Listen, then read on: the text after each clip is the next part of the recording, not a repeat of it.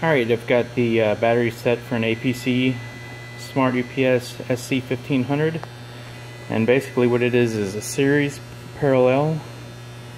So we've got you got your main connector so you got your positive. So you can pretend like this is one set and this is one set and it's just connected in parallel. So you got your negative that goes to your positive and your negative that goes to the connector but since it's parallel we're also connecting it to here. And then you can see the other side we're going from negative to positive and basically just connecting the two reds together to make these two separate pairs.